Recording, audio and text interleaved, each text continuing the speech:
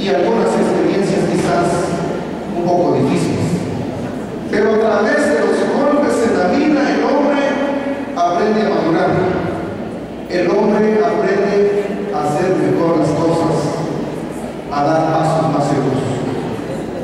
Ustedes que viajan todos los días, ya sea van al sector número uno, al sector número dos, y los que van cerca, es que bueno, pero de alguna manera hay riesgos en la carretera, hay peligros. Yo espero en nuestro Padre Celestial que Dios los cuide, que Dios los bendiga, pero que ustedes también puedan decirle, Señor, yo quiero dar lo mejor de mí para los niños, porque los niños me esperan en este año y quiero compartir lo mejor para ellos. Un abrazo para ustedes,